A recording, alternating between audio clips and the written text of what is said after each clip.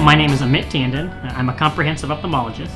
My primary focus is cataract surgery and laser refractive surgery.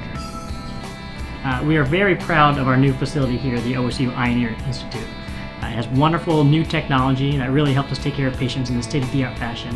Uh, but the thing I'm the most proud of our institute is all the coworkers.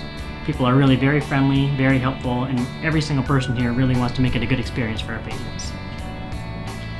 I'd say the driving force for me uh, to become a physician uh, was the example that my parents set. Uh, my mom and my dad are both wonderful, really caring people. Uh, they're the kind of people that really take care of their friends and their family and the perfect type of neighbor you'd like to have. You're seeing the way they treat other people and how important it is, or they feel it is, to help other people made me want to help other people too. And I thought to myself, what better way to help people than to be a physician?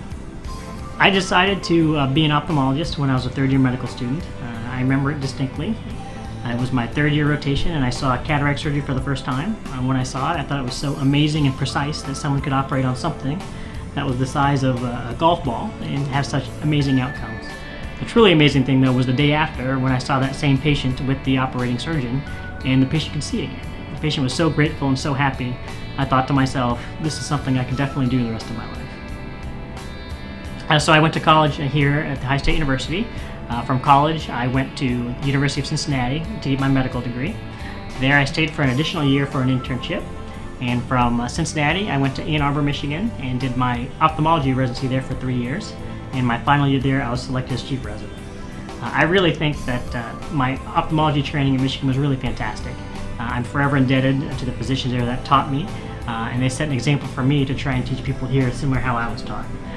even though I'm very, very fond of Michigan, come football Saturdays, I'm still a Buckeye I decided to go into academic medicine um, because I want to give back to the community even a little bit more.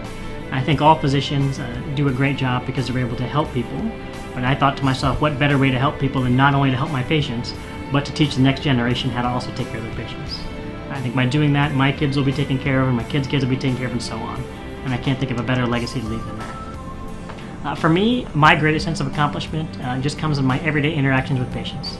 You know, every single time I'm able to help a patient see or allow them to see better than they think they can see, uh, it really makes a difference. It makes me feel great. You know, I don't need to cure cancer. I don't need to stomp out blindness. But if I can help every one of my patients see and see a little bit better, I can go home, have a good night's sleep, and feel like I did a good thing that day.